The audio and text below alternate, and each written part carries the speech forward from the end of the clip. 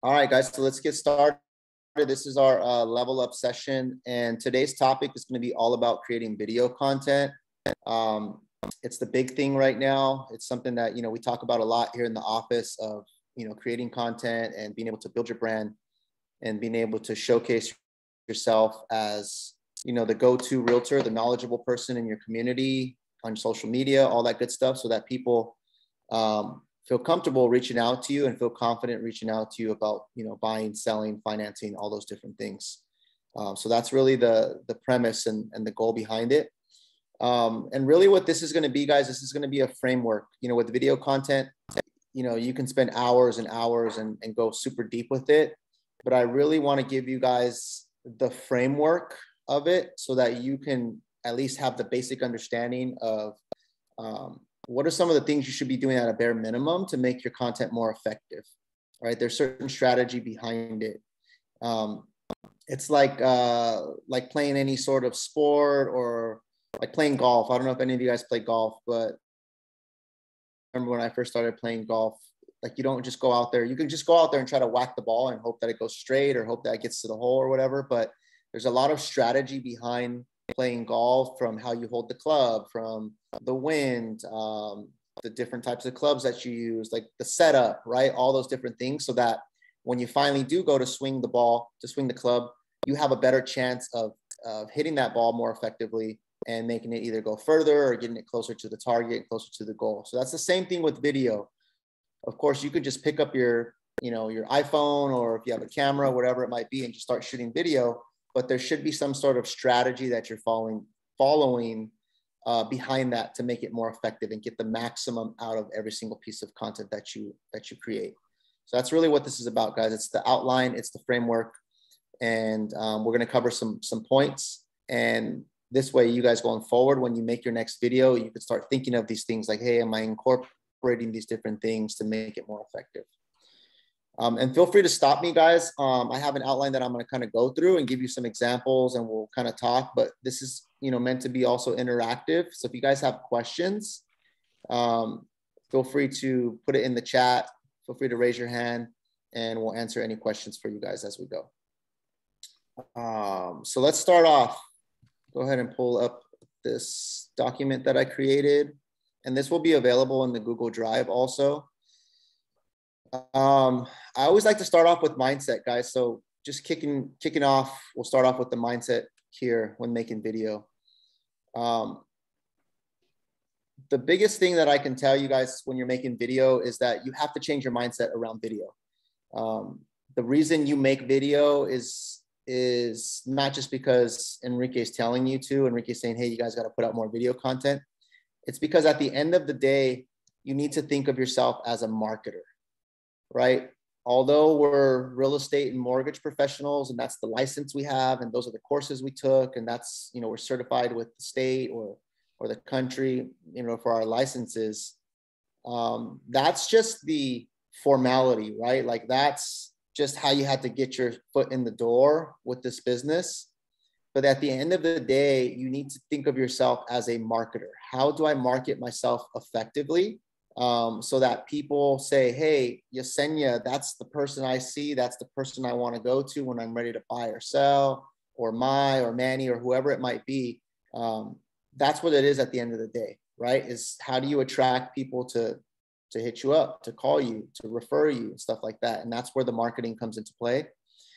Um, so the best marketers out there, guys, the ones who constantly have people's attention, the ones who get constant engagement, the ones who people are always commenting on their stuff, always seeing them, whether it's like the best video you've ever seen before, or whether it's just more they're just consistent and they're always putting something out and there's always people tuning in. Those are the people who consistently win. Those are the people who always have repeat and referral business. Those are the people who attract business to come to them. Um, so I want to start off with the question, guys, is who are some awesome marketers that you follow, not just in our industry, but maybe people you follow on social media or people that you tune into quite often? Um, put those in the chat. Like, who are some people that you follow? And you're like, man, like their stuff is really good. Like, I love their stuff, or I love watching them, or I love listening to them. It could even be on a podcast, it could be video, It could be maybe the written material. Let's get everyone to put type in at least one person in the chat. So go into our, our chat here and who's one person Whitney Simmons, Veronica Campos. Well, you guys are gonna give me some ideas of people I can follow because I've never heard of these people. Brandon Mulrennan, Glenda Baker, Tiffy Cooks.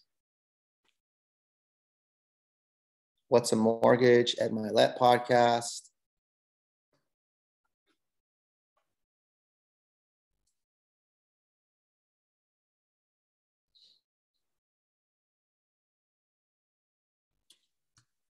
Okay, I'm gonna um call on somebody. Um, Alessandra, can you unmute yourself real quick? Yes. So Veronica Campos, I don't think I know who that is, but um, why is she awesome? What do you like about Veronica Campos? Like, give me some some um, context behind that. I look up to her just because in her first year in real estate, she didn't sell anything. Um, now she's selling like 10, 10 homes a month and i don't know that it, inspired me a lot actually and then she coaches with tom ferry. So she i think her coach told her like to post a lot. So i've been seeing a lot of content content from her. So i don't know. I feel really inspired by her. Got it. So part what i hear from you is the success right? Like you've seen her success. She went from not selling now she's selling a bunch. So her results are inspiring to you, but what is it about her posts? Like, is there a particular way or a feeling you get when you watch her posts or her videos? Um, what would you say in particular about her posts or the way she does her content? Mm, she's consistent and she does give like good inf- um, information for first time home buyers. So I sometimes even go and look to like learn um, some things and tips from her. Okay. okay yeah. So you feel like she's consistent.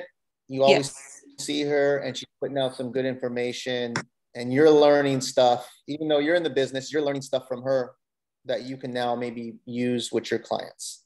Yes. Okay. Awesome. Awesome. Um, let me pick one more. Um, Liliana, tell me about Glenda Baker. I don't know. I don't think I know Glenda Baker is. Um, I think she's based out of um, I don't know, um, Atlanta. I like her because I like her content. It's almost like a like a conversation. It's like she doesn't look straight at the camera. She like is conversating with somebody like like maybe next to her and i i like it because i feel like it's relatable. I feel like it's just like two people talking about real estate. She says she like talks about stories and things that happened. Um i like i like that content. Mm-hmm. okay. Awesome. I wonder if i follow her. Oh i think i follow this lady. I didn't know her name was linda baker. Yeah. I, I feel like it's very relatable. I like her content a lot. Yeah yeah, she does a lot of what she does. I, I remember her now is it's a lot of storytelling. There's right. a lot of just like it's just it's not really her like saying, "Hey guys, here I'm going to teach you something today." It's more like she's in the middle of a conversation. She's telling you a story, and then you're kind of captivated by the story. Right? Correct. Yeah, I like okay. that a lot. Okay, cool. Um, so guys, the reason I asked that is because a lot of times when we're making content, um, like we know what we think is powerful. We know what uh, you know other people that we follow and why we think it's powerful and why we think it's good. But then when we make our content, sometimes like we just do the complete opposite, right? Because if you're feeling that certain way when you see someone, if you're like, man, this is really good, or I like the way they they frame the stuff, or I like how she talks about the stories, or I like that she's consistent. Um, those are people that we can model after, right? We can say, hey, that style, the way that resonates with me. Therefore, I would want my videos to, you know, be a little bit more in that style and stuff like that. So it's important to also follow people um, and get ideas and get inspiration. Not necessarily that you're going to be that person, but just just get some ideas that you can now take into your your content, right? Um, because there's a lot of lot of awesome stuff. The best content I feel is that a content where like after you watch it, you get like a feeling, right? Like you feel good, or you're like, man, that was really good, like, or I just really learned something, or I never thought about it that way, right? I don't think um, what a lot of agents do, I see is like, hey, the three steps to get pre-approved for real estate, right? Step one, step two, like there's no feeling a lot of times when you see those videos, right? So I want you guys to get more in tune with if I can go deeper in my videos, if I can say, hey, like I really want to translate a message in my video, it's going to be a lot more powerful. Um, the next thing here, guys, what I wrote down is accepting the reality of really uh, delayed gratification, right? And I, I put brush your teeth.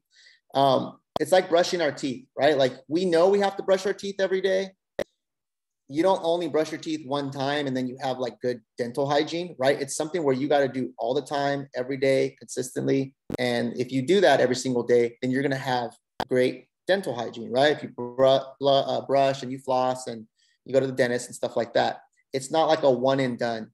Um, and for some reason, a lot of times, maybe subconsciously people think like, well, I made this video and I didn't really get any likes, or I didn't really get any comments, or I didn't really get anybody that hit me up. Therefore it may not be working right? So it that's not the way it works with video content. That's not the way it works when creating your brand. It's something where people have to consistently see you all the time right and it keeps you top of mind with that person so that the day they are ready to you know make a move or the day they hear about someone looking to buy or sell you're hoping that you've made an effect on them and they want to refer them to you uh, Maudie, you raised your hand. What's your question, brother? Uh, just a quick comment. Um, so I've been I've been consistently just trying to post a video. Like I know you said, like post one or two videos a week. I haven't really given myself a number. It's just like when I get an idea or when I have like 10 minutes to shoot something, I'll just get up and do it. Um, and I've been trying to see how much or just as many as I can possibly post. And what I've noticed is that like I won't I won't really get any likes or anything like at the beginning, but the next video I post, I'll see people go down the rabbit hole of my feed and like other posts that I've had um, posted previously. Yeah. So it yep. tells me that like they watched this one and now they saw the next one and then they saw the next one and then maybe the fourth one. They're like oh shit this is really good. And them liking it shows me that okay now i'm like attracting people to go down like the rabbit hole of my news or my feed or whatever it is. Um yeah i want to say because like i don't get likes or like that, but I, I do get engagement to the other videos or other things that I posted. And that's that's important you pointed that out, right? Because we're not we're not in the game of likes. So that's the thing you gotta I want you guys to all say this out loud. Likes do not equal deals. Likes do not equal money, right? So say that out loud to yourself. We're not, it's not a popularity contest, right? That's not where we're what we're creating content for, right? you can have a hundred or a thousand likes, right? Like who let's on social media, who gets the most likes?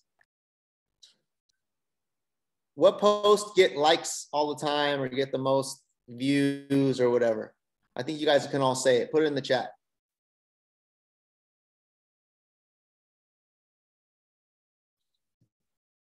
All right.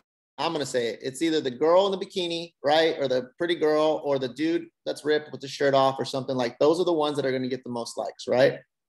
Because that, that's all it is. It's the superficial, right? It's like, hey, I I saw something, I liked it, or whatever, like, right? That's what it is. But with video content and creating your brand in your business, it's not about likes. It's about people saying, people seeing the message, right, and saying, oh, that was good and it's slowly you're making deposits into their mind you're slowly planting seeds you're slowly gaining mind share you're slowly gaining credibility with somebody right it's just like some of you guys that have joined our team right and i lead a lot of the coaching and stuff like that you didn't necessarily just join our team and see one coaching session that i did and said oh okay enrique knows what he's talking about no it's like it's the consistency right like i'm always pre- preaching a message we're always doing training.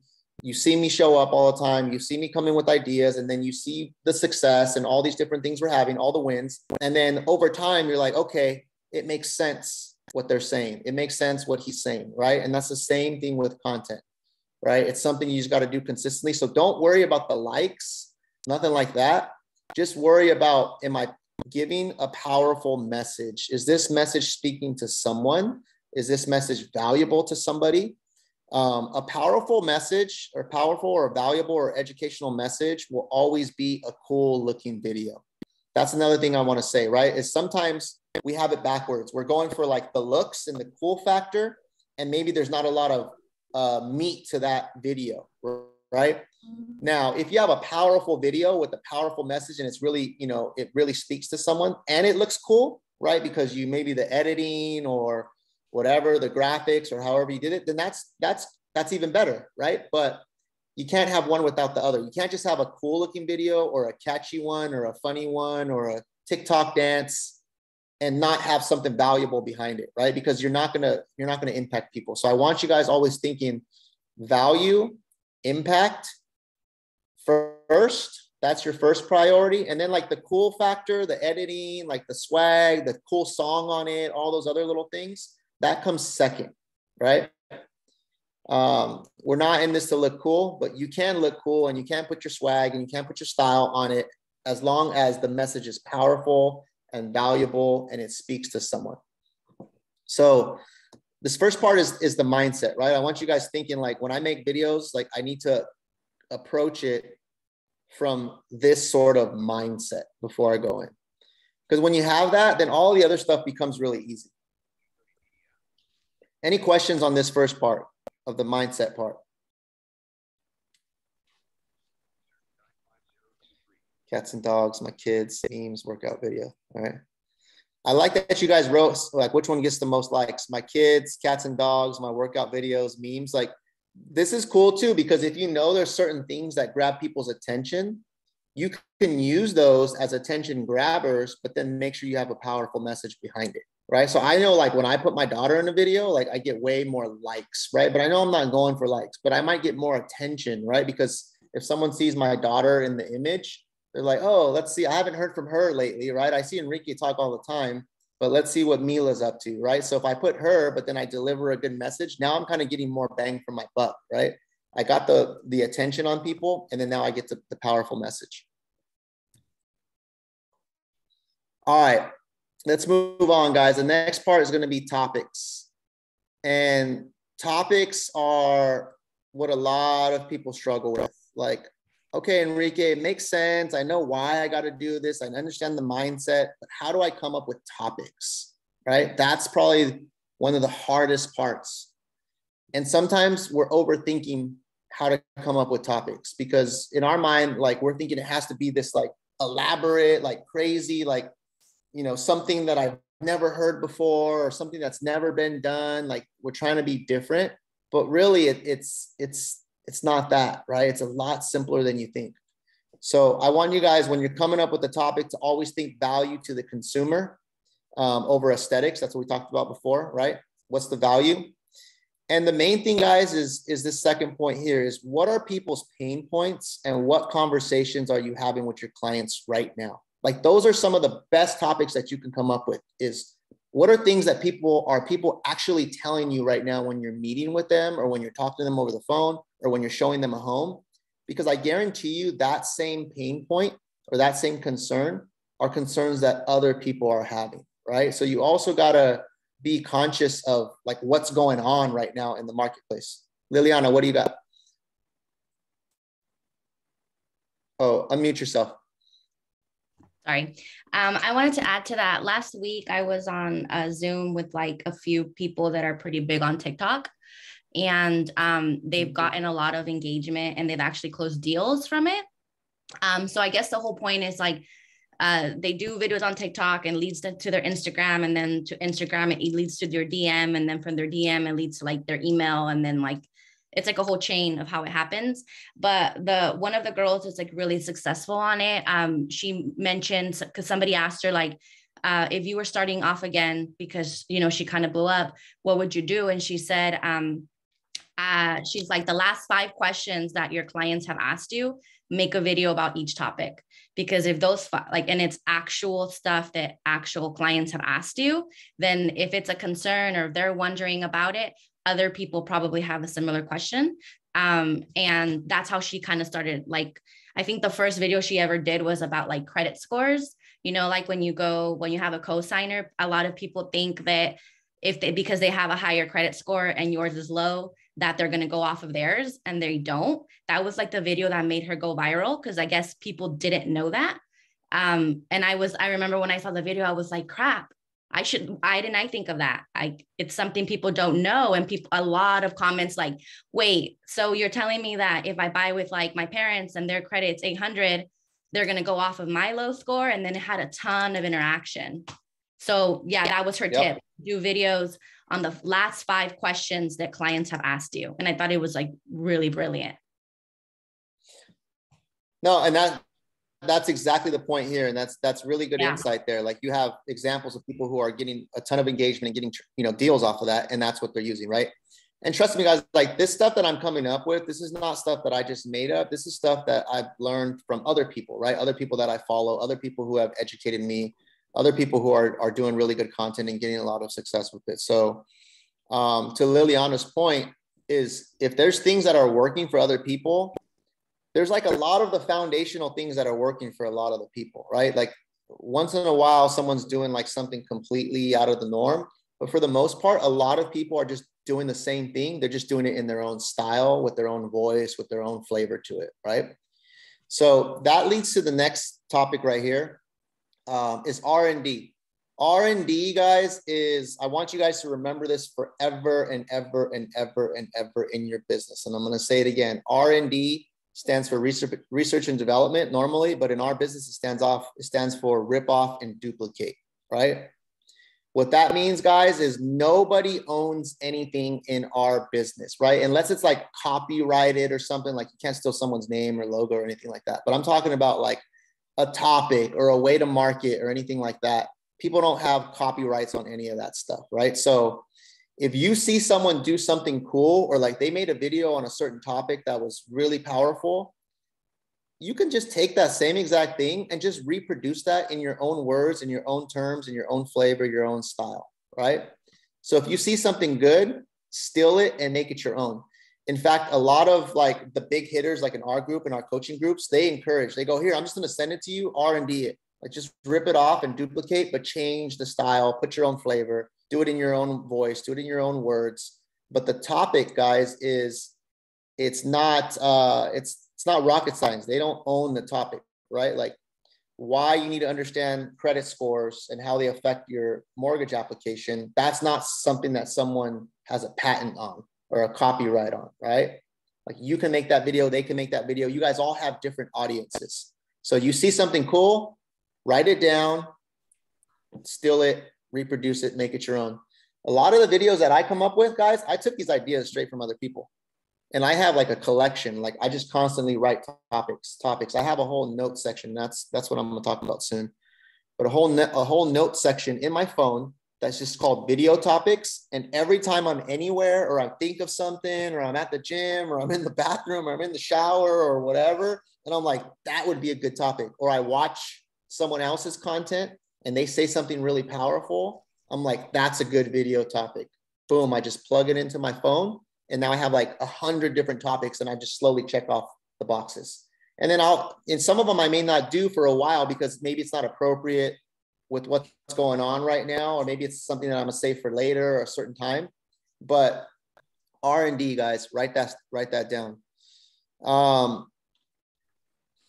the next thing here is speak to those uh, those topics and become the problem solver, right? So remember, if you want to look valuable to someone, like you have to address some sort of problem or some sort of issue, right? If someone has a pain point like the whole credit score thing that Liliana just talked about. There's someone going through that credit score thing right now, right? Where maybe they applied with their co-borrower, the co-borrower had a higher credit score and they ended up going with the lower one, right? That's a pain point for that person. That's going to be a pain point for a lot of people. So when you could speak to that pain point and then give some advice around how to fix that or how to solve that problem or tips, something that you can do to prepare for that, you're going to look like the hero, right? So when you know there's a common problem or a common pain point and you can speak to that and you can give someone a solution on how to solve that and what something that they can go out and do right now, that is how you create a lot of value with your audience. Um, any questions on these first couple points? Real quickly in the chat, right? So that we can also gain some stuff from here is um, I like how Marty said, just got the idea for my next video. Thanks, Lily. There you go. Um, what are some conversations you're having with your clients right now? Like some of their pain points right now, or like even if it's just a specific thing, like, hey, my client brought this up the other day and I never, you know, it's something I haven't talked about in a while. Write those in the uh, in the chat right now. Everyone just write one thing that you've talked to someone recently about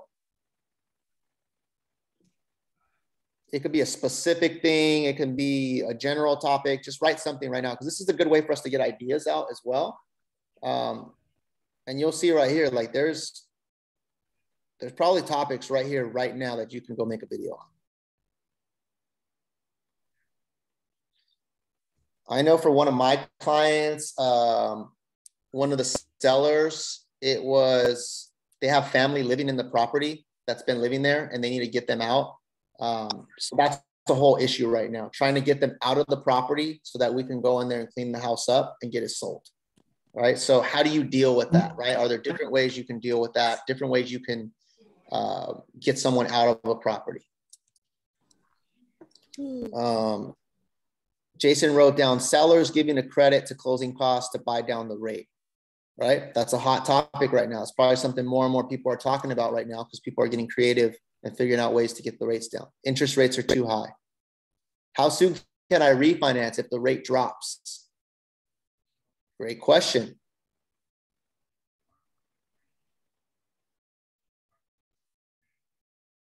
How about even like just going even a step further with the seller giving credit for closing costs to buy down the rate? Like, what is a uh, interest rate buy down? How does that work? Like, how much do you pay and how much lower does that make your rate go down? And what does the math look like behind that? To me, that that'd be a, a really some really good information. Um, something I saw someone do right now is uh, one of my buddies, Wilson. I shared his video. Um, he was talking about why it why it still may be a good time to sell, even if you're going to get a lower price. Because if you're going to buy another home, you're going to get a, a lower price on the next purchase right? And he was like, it still it makes sense to sell even if you're not getting as much as you were before, as long as this, as long as you're going to buy another property, because that property you'll be able to get at a lower price as well. So a video on that, right? But if you're just going to sell and put the money in the bank, maybe it doesn't make sense. Maybe it makes sense to keep that property.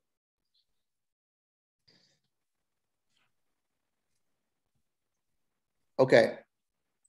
Um, this next point right here, guys, is speak to someone and not to everyone.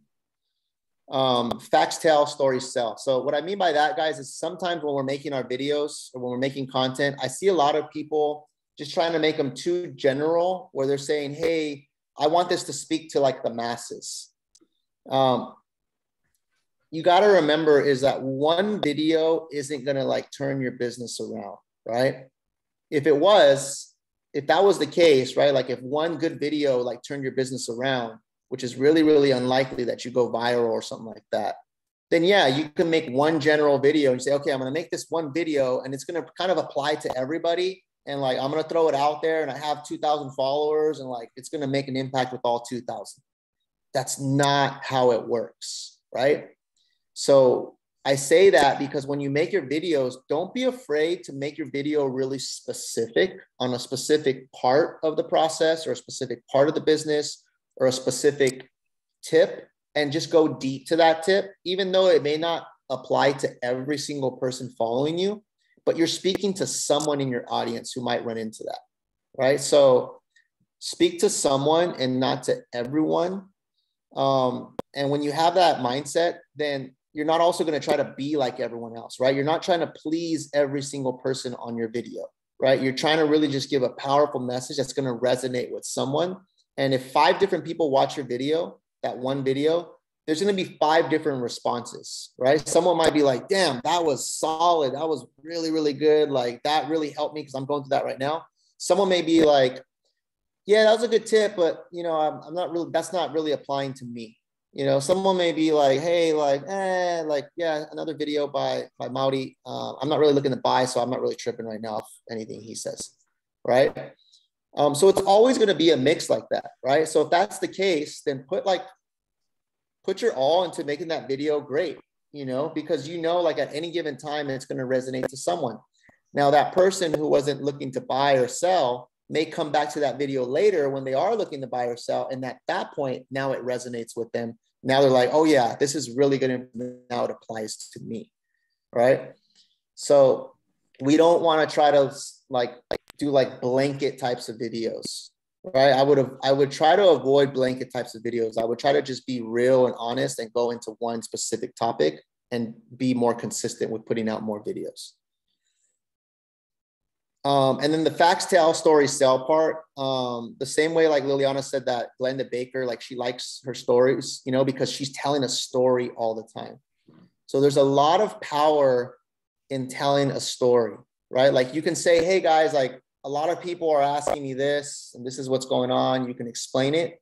But then when you can go like into a story i had a client one time and you kind of give a whole context of the client maybe you, the client is anonymous right you don't say who it is but you tell the story of what happened why it happened what ended up happening all those different things it really can drive the point home and it really can make it resonate with that person at a deeper level right so it's one thing to say like hey guys the interest rates are going up and you know, you really got to think about whether it makes sense to buy or sell. Like that's just a fact. But when you can say that and then say, let me give you an example. I had my client, and this is something we were looking at, and we mapped it out and we did different scenarios. And what we found is that it made sense for her to wait a little bit more until she could save more money and afford the payment. Or no, or what we found that is that even though the rates went up, she was going to be able to buy this property at a lower price. She was still able to afford the payment she was able to lock in and she has, you know, and you go into the details of that, it's going to help really, really sell that point and drive that point home.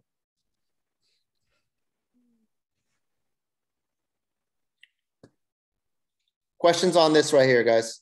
Any of this so far?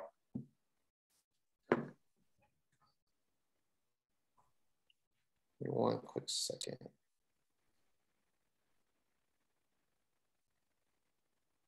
Okay, next thing here, guys, for coming up with topics. Um, don't try to put too much info in one short video, right? Remember, if it's a reel or if it's like a short form video where it's just like a one minute or one and a half, there's really only so much you can say in that video to make it powerful, right? Like if it's a one and a half minute reel, because I think like IG reels are now one and a half minutes, you can't put like the eight points to buying a home in a in a one and a half minute video, right? Like it's it's going to be too much information for that amount of that amount of time. Does that make sense? Like if you put too much information and it's only a short form video, you're going to lose some people, right? They're not going to be able to fully grasp the information. So you can either like have shorter videos and just really hit it home with like one point. Maybe like if you're going to do like the three steps to buying a home, but you make three different videos, one on step one, one on step two, one on step three so you have time to really go deep with those, that's going to be a lot more effective than just trying to do all three of those points in one short video. The other thing you can do is you can even make like a longer video, right? Where you go into everything and then you can chop that up into shorter videos as well, right? So that people can consume it and really grasp the information. Um, I always recommend one to three points maximum per video. Go deep, like I said, even one point, like if it's just one thing that you want to talk about and just going deep with it in a story and giving examples, that's going to be a lot more effective than a three point video that has no details behind it. Um, like I told you guys earlier, keep a list of topics in your phone, your notes, because sometimes topics come up at different times, right? You could be driving, you could be at the gym, you could be somewhere, or you could have watched something else and you get a hot topic. have that place where you keep all your topics. So what I want everyone to do now, if you haven't done it, a simple way, like I said, is just go in your notes section. And you can see in my note section right here, I'm going to show you. I don't know if you guys can see this. I have a note section just called video topics, and they're just all bullet points. And if you see me scroll, you can see like these are all topics. A lot of them don't have a check mark next to them because I haven't made videos on them yet. I got hundreds of topics in here, guys. Like, this is my collection, right? So if you don't have that yet, I want you guys to create a section in your notes. I like the notes because my phone is always on me. So like I can be anywhere and boom, just plug it in. And then when I go to film video, I can go back and say, okay, what's the next topic that I got to choose from? And then just check them off the box. Um, here's another thing that I learned today. Actually, was on I was on a mastermind earlier today, and there's a website called answerthepublic.com and i guess it's a website where you can go on there and you can just punch in um, like buying a home and it'll give you like all these different topics. It will auto populate like hundreds of different topics about buying a home that you can make videos on. So answerthepublic.com check that out play around with it. But if you're someone that has trouble coming up with topics this is your guide right here. Um, Enrique, before, Enrique yeah. let me jump in real quick. So, so something that again, I, I, it's not something that I really learned on the mastermind today. It's something that just kind of it's been re- repeated a few times. Is that you know just going back to like when you're trying to find content. I think it was a good exercise. What you did was we kind of posted in here who we follow, and I think it's it's easy for us to to just see who we're following, see who's out in social media that we kind of gravitate to, towards, and we can just duplicate their content, right? I kind of want to really reinforce that because again, that was probably one of my biggest things was like, well, what do I got to talk about, right? Because the way we come, our mindset already feels like, or my mindset was like, well, everybody, everybody already knows this, right? But it's not true. Your audience does not know what you know about real estate or mortgages or or whatever you're trying to market. So again, uh, first is definitely you know, content is already out there. It's already been done, guys. You're, you're not going to make up something brand new. But what you can do is go ahead and you know R and D it, and go ahead and put it in your own in your own style, your own voice, and your own audience, right? And I I think don't be afraid of doing that. And that's something that I think for me it was it was a hurdle because I'm like shit, you know, everyone's already heard that already. But again, they haven't heard it from me, and my audience hasn't heard it from me. So again, I think just just kind of make sure that you are following people that you can R and D from, and make sure you put it into your own voice and your own content. Yeah, definitely. And to kind of back up what Jason was saying, one more I, I want to make a point is that even though you put out a video, let's let's say everyone knows it, right? Or a lot of people know this information, they don't know that you know it, right? So even though you put out a video that you may think, well, this is not like super high level. The fact that you're putting videos out, just just the fact that you're even putting out content already establishes credit credibility with your audience. Then the fact that you're giving a powerful message, then the fact that you're consistent, like all those different things. And like Alessandra said, she likes that lady's videos because she's consistent. She's always putting videos out. There may be some videos that she puts out that Alessandra says, oh, I already heard that before or I already heard Enrique talk about that or something. But the fact that she's consistent, it's someone now like that Alessandra can look up to and say, like, hey, I want to be more consistent. So don't necessarily think that it's just the video that's going to resonate with people. It's the fact that you're putting it out there in the first place that establishes credibility with your audience. And like Jason said, they haven't heard it from you yet, right? They haven't heard it in your voice, right? They don't know that you know this, right? So it's it goes a lot deeper, guys. The consistency is really the key, and that's building your brand over time. Like Coca Cola is one of the most recognized brands in the world, right? Like they can get creative or whatever with their commercials or, but at the end of the day, they're just still selling Coca Cola. Like the the end of it, the product, it's still Coca Cola, right? It's not like they it's a new Coca Cola. It's not like it's a different Coca Cola, right?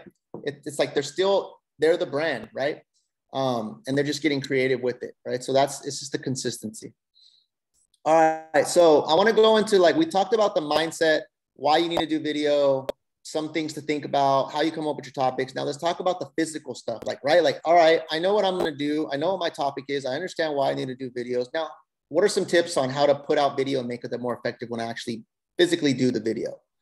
Um, number one is gonna be um, lighting, good lighting and good audio, right? This does not mean you need lights and this does not mean you need uh, microphones and like all kinds of gear.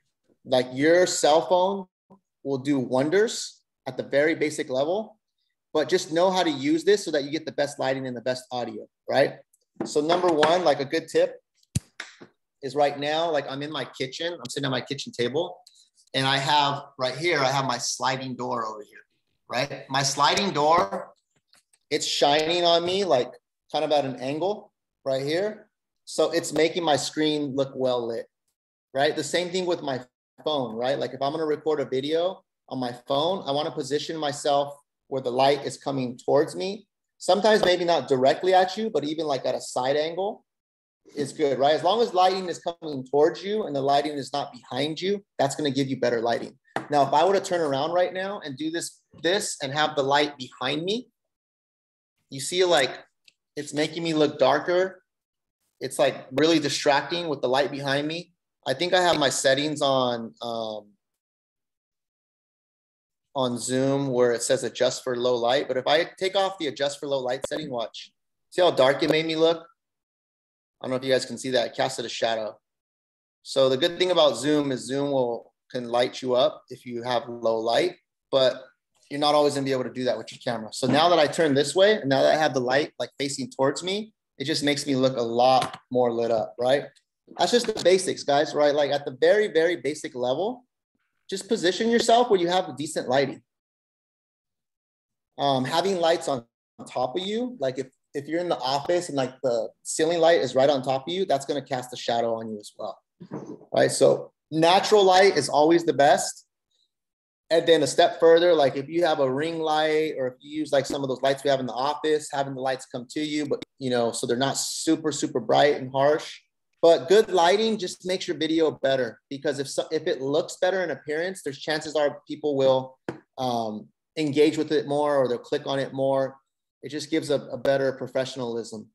But remember, you can have the best lighting possible, and if you didn't do none of the above, like the content sucks or you're not saying anything good or it's a it's something that's not a lot not really valuable and you have good lighting like it's not going to do nothing right so these are just ways to enhance what you're already doing um good audio Maudi, what's your question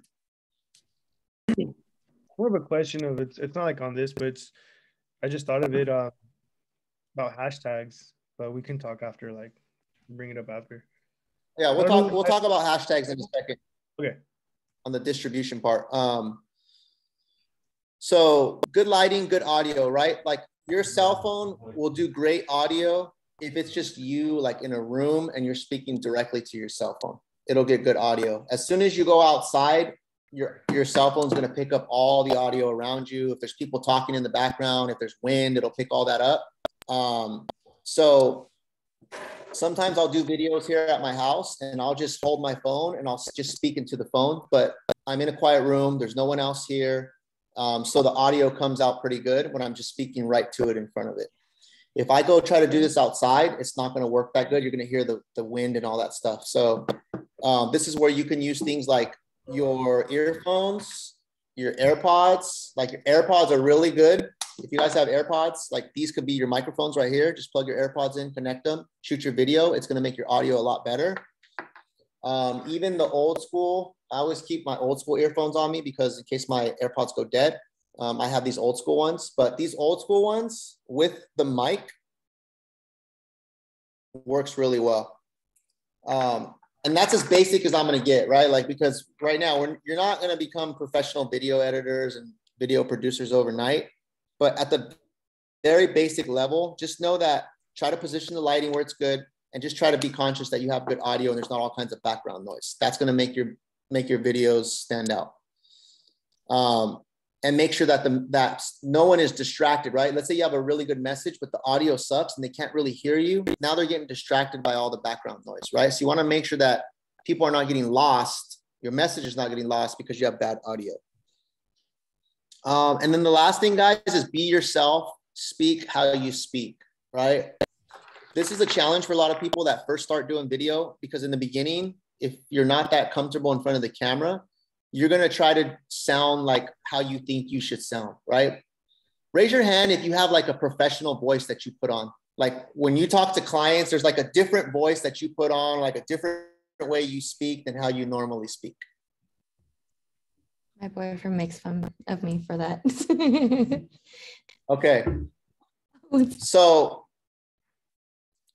what I want you guys to do is try to get away from that as much as possible, right? Like, make sure you speak clearly, make sure you speak professional, but try not to turn on a different voice completely, you know, than like if you sound like night and day, like when I talk Give us an example, person, Enrique.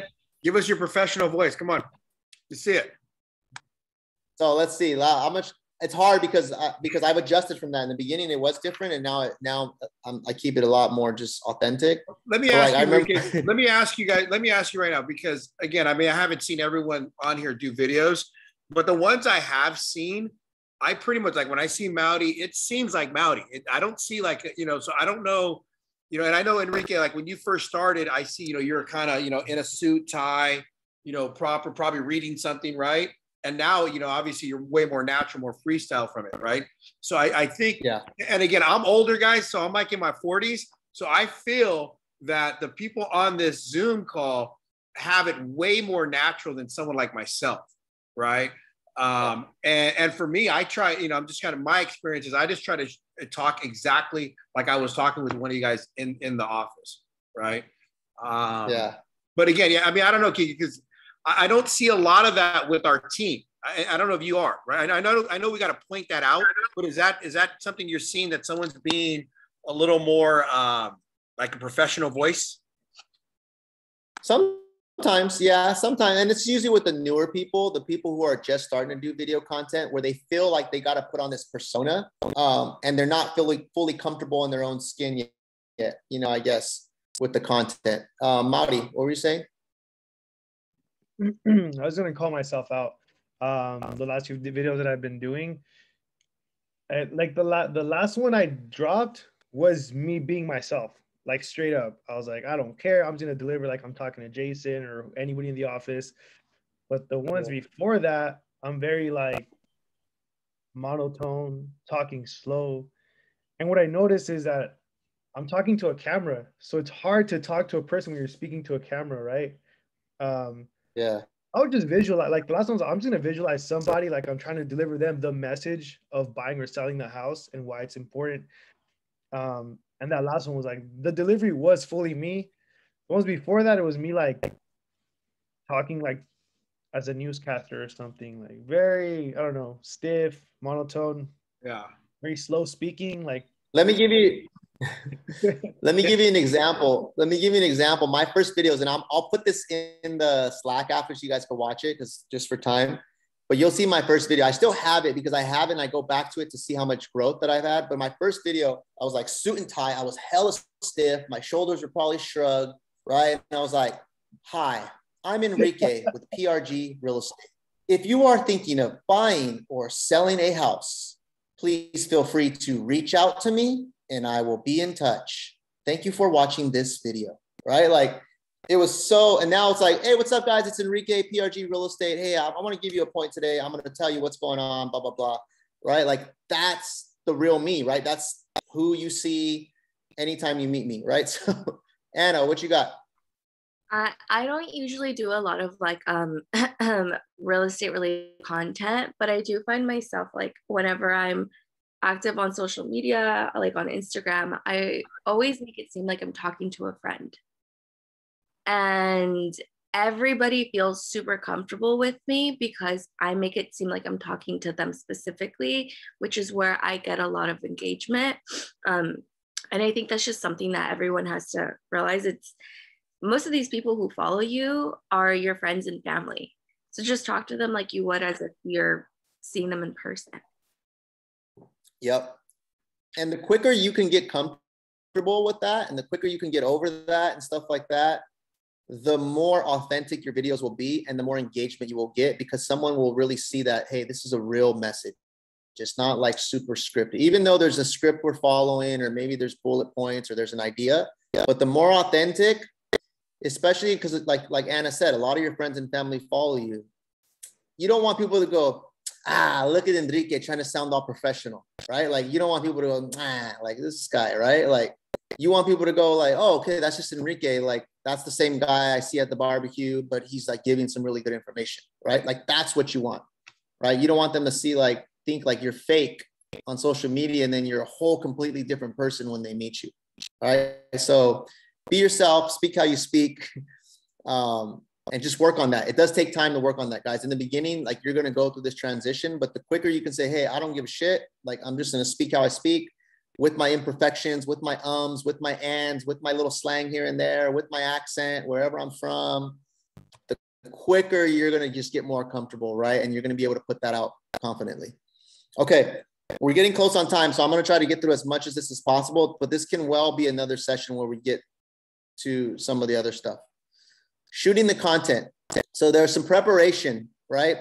Here's the thing if you don't prepare, if you're not that good at video and you don't prepare, it's going to come off in your video, right? If you don't have like a, a guideline or bullet points or whatever that you're following, then you're more likely to mess up or fumble or anything like that right so but i don't want you to over prepare where you make this so like you make yourself nervous right so what i do is bullet points I do bullet points. I don't write out the whole entire sentence that I'm going to say. I just write the point and then I'm able to see that point and I'm able to talk about it. Right. And I'll make sure, obviously, like I know the information, I'll rehearse it. Or if I look at, if I'm reading an article or if I'm pulling this information from somewhere, I'll make sure I study the info so that I know how to, I know what to say and it's in my mind.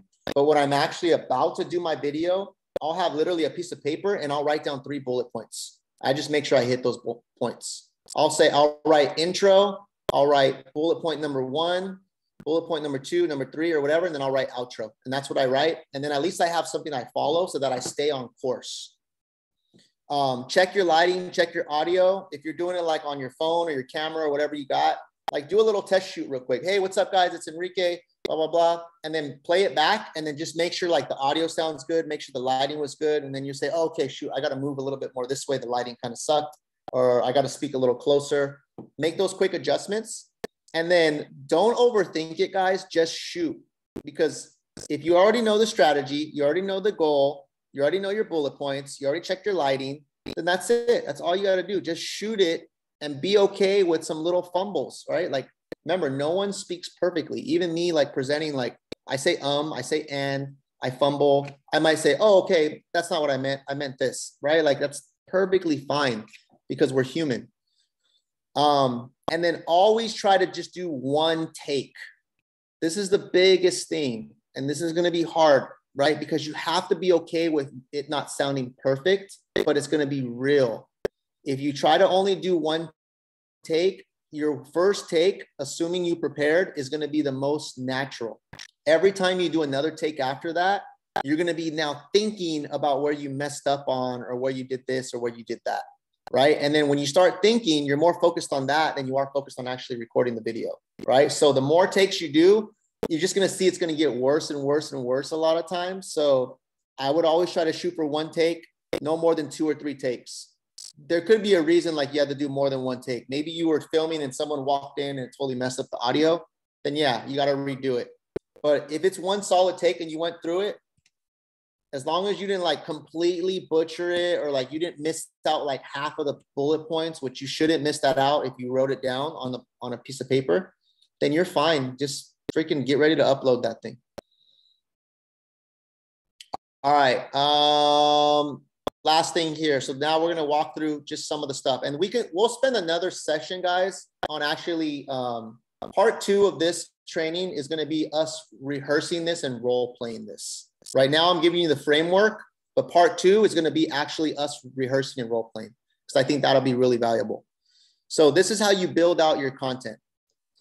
You got to have an intro, and your intro should always start with some sort of hook or attention getter or the clickbait, right? This is like the topic that kind of summarize it all. This is how you get people's attention.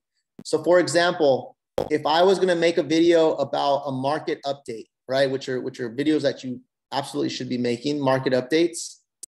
I wouldn't start off by saying, hey guys, today I'm going to give you a video about a market update. I would come up with like a topic sentence or an attention grabber that describes what's happening in the market. And then I would say that first. So an example would be like, buyers are facing this uh, obstacle right now in today's market. Like that's how I would start my video because you got to remember that you only got a small uh, couple seconds to get someone's attention on why they should keep watching the rest of the video. So if the beginning of my intro is all filled with like, hey guys, I'm Enrique from Paramount Realty Group, and today you're going to hear about a market update, I might have lost some people already right there. You got to get straight to the point and you got to say what like the attention grabber is, and then you go into who you are and and give the information.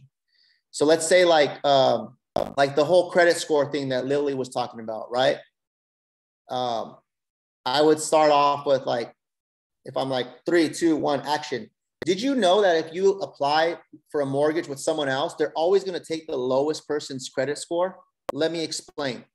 Hey, what's up, guys? It's Enrique PRG Real Estate. This is something that I'm hearing a lot from my clients. They're applying for mortgages, and a lot of people don't know that when there's two borrowers, the bank's always going to go with the lower credit score. I just had a client that I spoke to, and they thought, you know, because their husband's score was 800 and theirs was 700, that the bank was going to go with the 800 score. Here's why the bank does that, right? What the bank is looking at is there's two borrowers, and they know both people are going to be responsible. So they're always, the bank's always going to play in their favor because they're trying to calculate risk.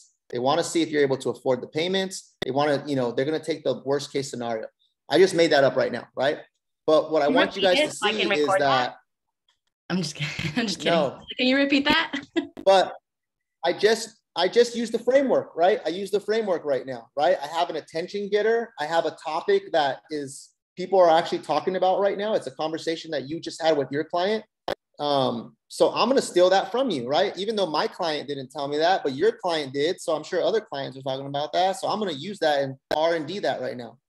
But my attention getter and my opening sentence was Did you know that when you're applying for a mortgage, the bank is always going to go with the lower person's credit score? Because right off the bat, like when someone watches that video, they're like, okay, you got me hooked. Now I want the rest. If I would say, hey guys, today I'm going to talk about, you know, applying for a mortgage. My name's Enrique with Paramount Realty Group.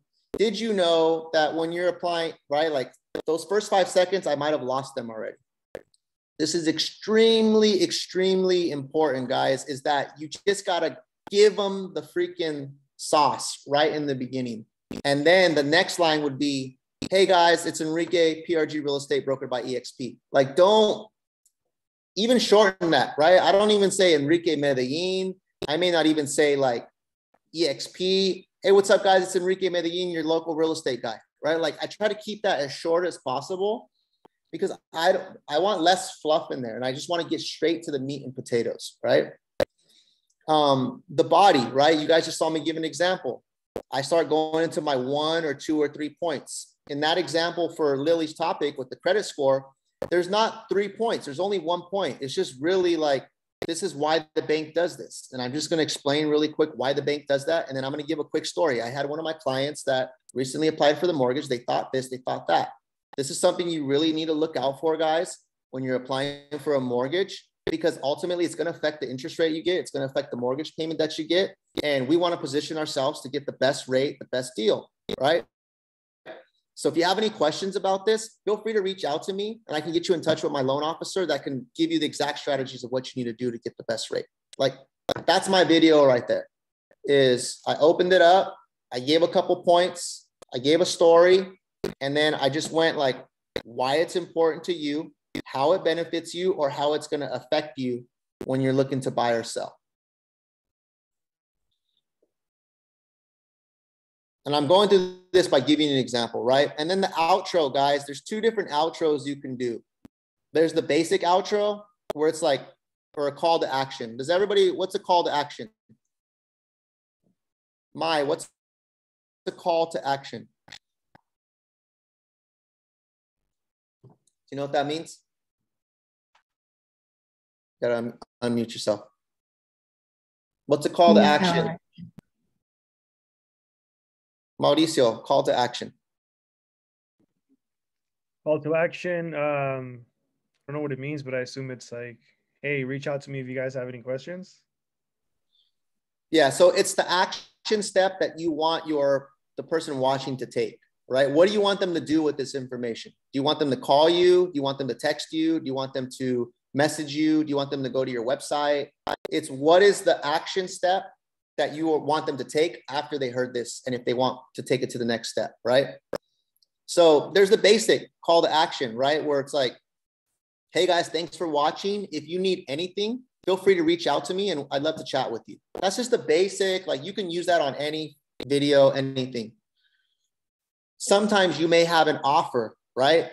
Like let's say you're talking about discounted properties and you could say, hey, DM me discounted properties and I'll send you a list of discounted properties in your area, right? Now that's like some sort of offer, something I'm offering them to give them. Or hey, if you want to set up a one-on-one consultation, reach out to me and we'll go ahead and book a time for us to do a strategy session with you. So you're offering them a strategy session. So remember that there's there doesn't always have to be an offer, but there has to be like an outro or some sort of like, hey, thanks for watching. If you found that information helpful, reach out to me if you need anything. Or thanks for watching. If you want X or Y or whatever I talked about in this video, reach out to me and I'll go ahead and send that right to you. All right. So those are two different approaches that you can do, and they both work depending on what the video is about and what you're talking about. Okay. Um, we're a little over time, guys. Give me five minutes and we'll we'll be wrapped up. Um, these are the last two points here. So the editing. So this is the part where some people just get in way over their head with like thinking they can't make videos because they don't know how to edit. Remember, like the super dope videos that you see that are like drone shots and graphics and all that stuff, like that is not what we're talking about today. Like, yeah, you can be that eventually, but when you're putting out content like all the time, it doesn't have to be like super fancy or, or creative like that it's more about putting a consistent message, right? We're not going just for looks, we're going for impact and value. So, at the very basic level, if you have a video, just know how to trim it, right? Like those first couple seconds where there's like dead space in the middle, like all you got to do is hit edit on your phone and you just slide the little toolbar and stop it. This way, the video kicks in right when you're talking. At the very end, there might be a few seconds where like it was just dead space after you ended the video. By the time you went to turn off your camera, there's like three or four seconds. Just know to trim it, and that's it. At the very basic level, that's all you got to do is just trim the video, which is like super easy. This way, the, there's no dead space. It's not the dead space where you're just waiting to talk and there's like four seconds of you just staring, and then you go, "All right, guys," like right, like that. That's very basic, right? So if you just do this with your videos, like for some of you guys that are just getting started with video, that'll make your videos just even better because you already you already position yourself for good lighting, you already checked the audio, and then you just trimmed it, and now you're gonna go post it. Um, the cover usually when you upload these videos to like IG or YouTube or anything like that, you're able to pick the cover, like what shot people see on your thumbnail. And all you got to do is hit cover and you can slide and you can choose which which shot they which shot they see. Like what do they see when they come to your page, right? Or what's the placeholder that they see when the video starts? Um, advanced, I'm not going to go into this, but this is like where you want to add things like a song in the background, like just for some music. If you want to have like things popping up or graphics or some sort of background or whatever, this is now getting advanced. But I can tell you right now that doing all these things, it doesn't make your video necessarily better. It might make it look cooler, but if you ain't doing at least the basics, don't worry about the the advanced stuff, right? As you go, then slowly make your videos a little bit better to fit your style that you're trying to put out there. Very basic. Let's keep it simple. Okay. The last thing, guys, and this is it uh, distribution. So we went through the whole, we walked down like how to make the videos, why you make the videos, the lighting, the hook, all those different things. This is now where some people get this part wrong, right? Because you put all that effort with the video. Now, the goal is you want to get this video out in front of as many people as possible. because one video, you can put that on different platforms and get two times, three times, four times, five times the amount of views, right?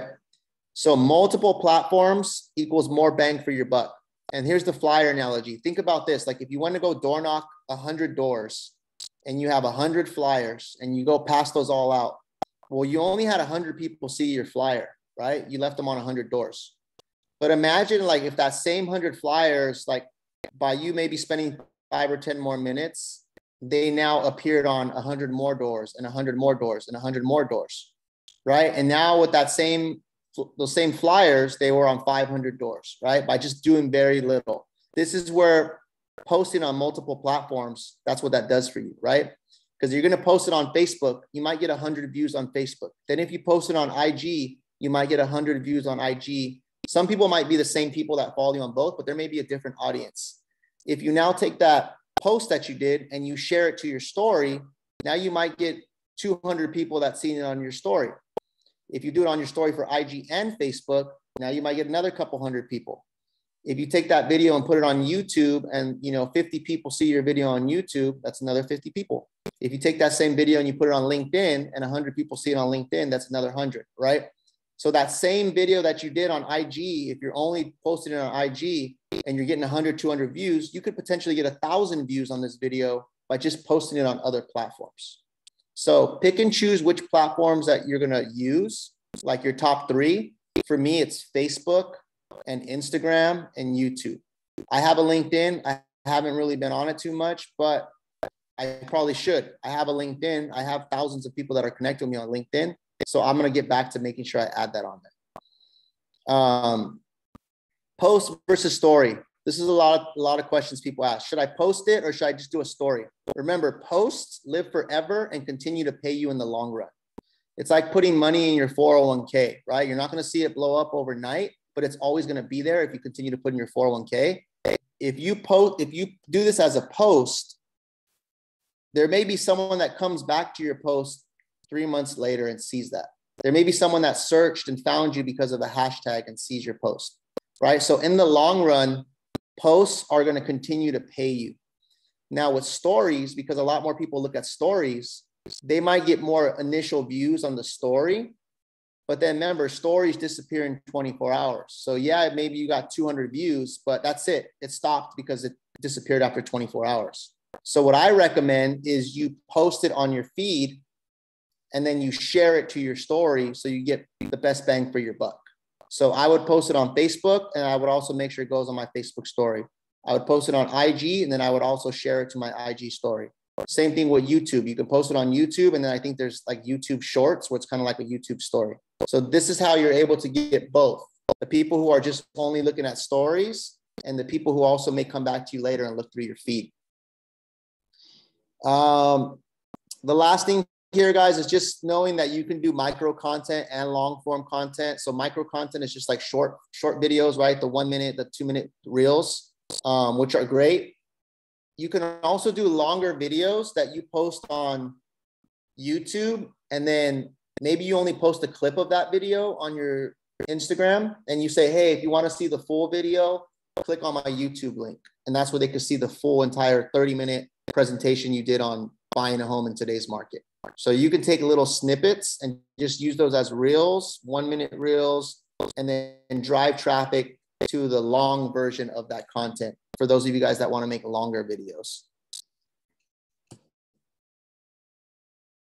Let me see if there's anything here.